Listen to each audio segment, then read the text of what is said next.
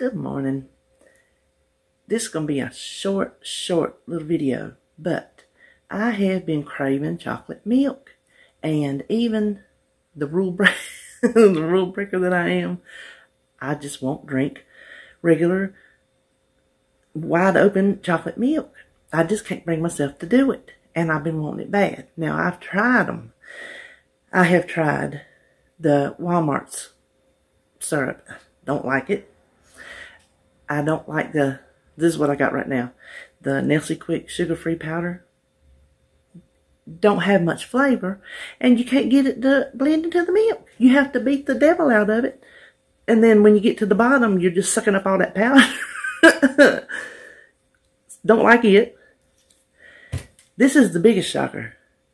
Don't like the Hershey sugar-free. I threw a whole bottle away. I don't like the aftertaste of it. So if I buy something, I do waste food sometimes because if I buy something, this is what I tell David. I'm, I know it's money, but I'm not going, I'm not going to waste belly space or points on something that's not good. To a point. If it's um, something I cook, I'll just suck it up and eat, suck it up and eat it for the most part. Sometimes I'll throw my stuff away. I just go over here to the disposal and I just chunk it. And he happily sits there and eats it. So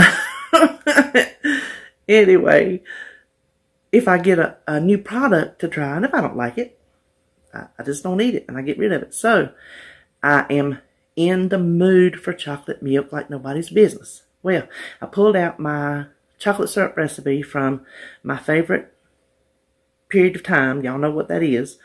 Back in the day. that is my favorite period of time. Well, I'm going to make half a batch and I'm going to make it with the monk fruit. I've never done it, never tried it, but I'm going to give it a go. I figure a half a batch, if it's nasty, then I won't have wasted, you know, because that stuff's expensive. So we're going to go over here to the stove, see what we can come up with, and keep your fingers crossed. We might be having us some good old chocolate milk. Okay, let's get started. Now, let me let you know up front, I might get interrupted by a phone call. So if, my ringtone blares in, I will try to mute it down when I edit so it doesn't blast your head off. First thing we need now, like I said, I'm cutting this in half, is we want to dissolve the cocoa powder. I just, I use Hershey's. I just keep it in a jar. So it's just a quarter cup of unsweetened cocoa powder and this is the this is the hardest part is getting it to blend in. It's like that Nestle. it's like that Nestle Quik. And a half a cup of water.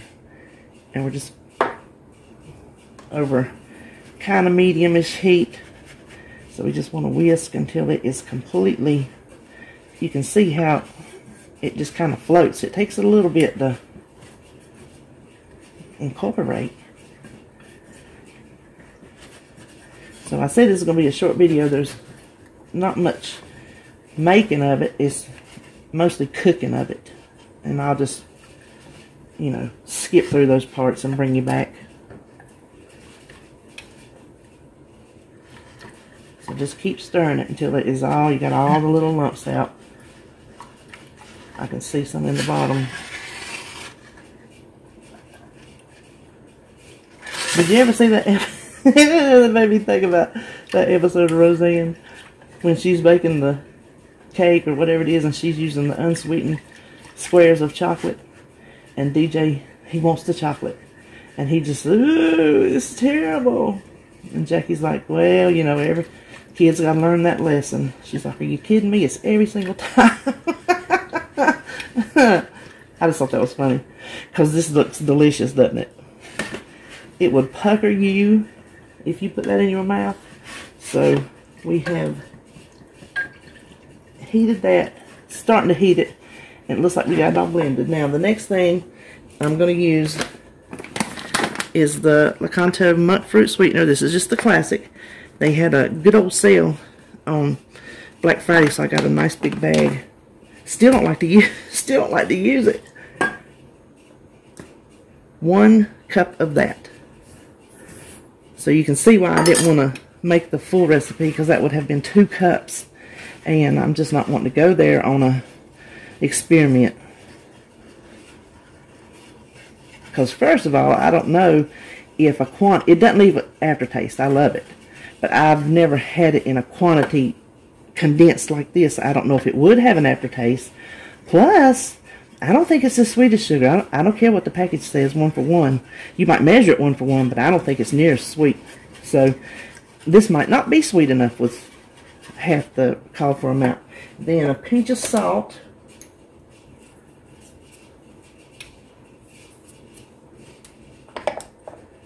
And all we got to do is bring this up to a rolling boil and cook it for three minutes.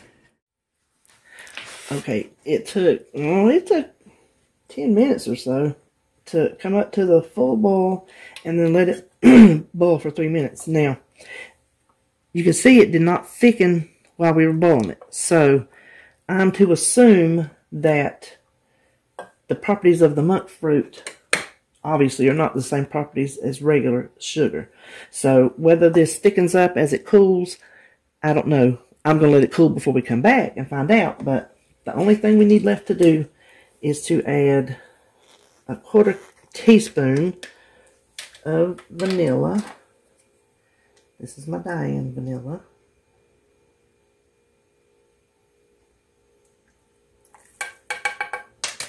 And I'm going to put it in this jar. Stick it in the fridge. Because I'm ready to taste it right now, but can you imagine how bad that would scald my mouth? Now this is a 12 ounce jar, so we'll see how much it makes. Pretty near close. Pretty near close to 12 ounces. The color is beautiful. Now you can see it, it's very liquidy. Like I said, it may not set up, but if the flavor's there and it's going to go in milk, I don't really care. So let me let it cool, and I'm going to come back with a glass of milk, and we're going to see. I'm excited. Okay, I have let it sit in the fridge right almost an hour on the dot. You can see, let me see if I can get you up here where you can see good. It did not thicken like syrup. It's still pretty liquid. But you know what? If it tastes good, I'm not even mad. I'm not even mad about it because I don't want to thicken it with cornstarch because I don't think it would be good with milk that way. If you put it on cakes or ice creams, I think you probably could do that and get by with it. But personally, I could be wrong. I'm I'm not a master chef here. I don't think the cornstarch would work good for something you can put in milk. There are other um, thickeners that you can use that don't do the cloudy, you know, like that would do. So you're, you know, feel free to thicken it or do whatever you want to do with it. I'm just going to leave mine as it is. Now, I have not tasted this. We are going we are going to taste this in our milk together. I'm just going to pour it in. No sense to You know what I'm going to do this right here. Oh my mm. Oh my gosh. I'm here to tell you that is delicious. I am beyond, I am beyond excited. I don't know about y'all, but I make my chocolate milk according to color. If it looks good, I think it's ready. Now it's taking a good little bit to, let's see, you know what? That is awful dark. Let me just go ahead and get a little sip. We can always add more.